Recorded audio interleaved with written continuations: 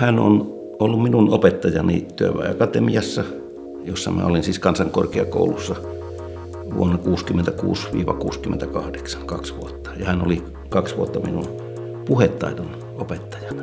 Minun on jotenkin vaikea niin kuin, kuvata, miten kaikella tavalla ja monipuolisesti hän on vaikuttanut minunkin ajatteluun, mutta että hänen niin kuin se suurin ideansa, hänen filosofiansa idea on totuuden etsiminen.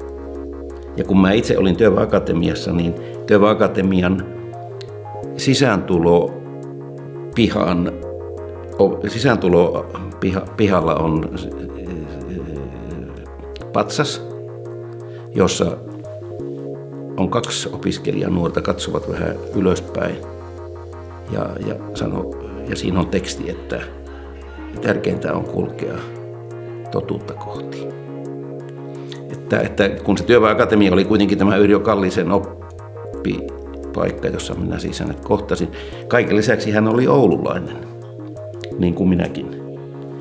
Ja, ja, ja hän pyysi jopa silloin 60-luvun lopulla minua semmoisen murrekerhon, koska hän, hän oli jossakin sellaisessa, jossa oli oululaisia ja jotka pitivät tätä Oulun murretta yllä.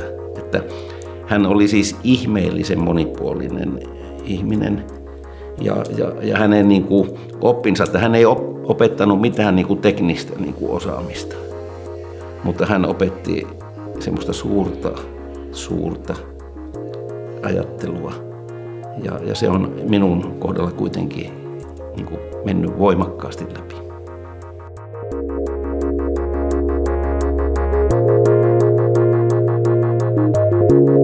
you